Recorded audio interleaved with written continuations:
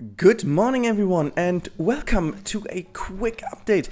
There is a new trailer revealed. It's Gamescom and uh, Planet Zoo just dropped a pre-release trailer, uh, trailer or whatever. I'm so excited. As you have seen, there are already ostriches confirmed in this video and I can tell you in a few seconds we are going to see even more, which is absolutely insane. There is so much in this trailer. I'm just going to quickly boil this all down and then you can enjoy the trailer once more without me talking over it. Uh, that should be doing doing it for now because I'll be bringing the stuff from you. That's the Warthog, by the way, wonderful with the little puppies. We have a Pumbaa in the game, uh, so proper Lion King re building stuff is going on. You can actually see the lemurs finally in action. It's so cool. The orangutan, which has been revealed yesterday, uh, is also a little bit more in action here. It is so great, but there is even more stuff in. Um, you can see a bit more glimpse here of the piece by piece building, the wonderful possibilities of building enclosures. It's wonderful, but there's one more shot which kind of really completely blew, blew me away. You will see that in a second. Um, also pretty cool as you can see the different jobs. There is a frog in the exhibit, in the small exhibit, and this one, boom, here we go. It's a fully fledged hospital for the animals. It is insane. There is so much in there and my hype couldn't be any higher. So I will be I will be joining the crew in a few hours and uh, yeah, this will be so awesome. I can't wait to bring you even more of the awesomeness.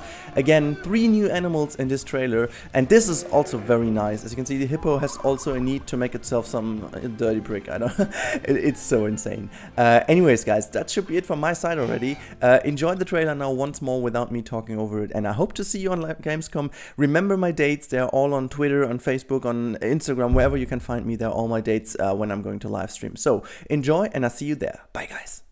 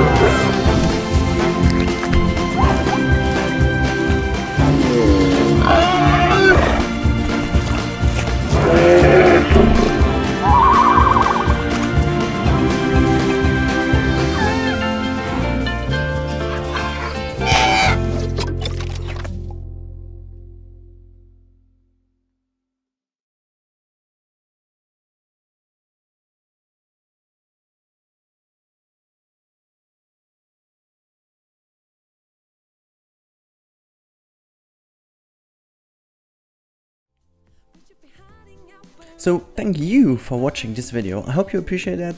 And now a special thanks also to all the people supporting me here on that channel, making this all possible. You can see that on the left hand side right now. And also if you want to see more of my stuff, make sure to click that card on the right top now. And if you want to stick around, make sure to hit that sub button, which is on the bottom right of the screen. If you want to see stuff on my social media, sneak peeks and stuff like that, it is on the bottom left on the screen.